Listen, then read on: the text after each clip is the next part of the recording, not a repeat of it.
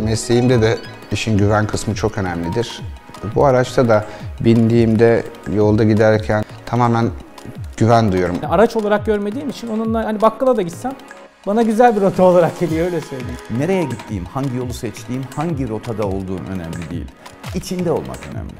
Sadece ayaklarınızı yerden kesen e, otomobiller var. E, bir de bunu yaparken size keyif veren otomobiller var. E, Mazda MX-5 e, bunlardan bir tanesi diye düşünüyorum. Elinize tam oturan bir eldiven veya üzerinize tam olarak dikilmiş bir elbise gibi olduğunu söyleyebilirim açıkçası.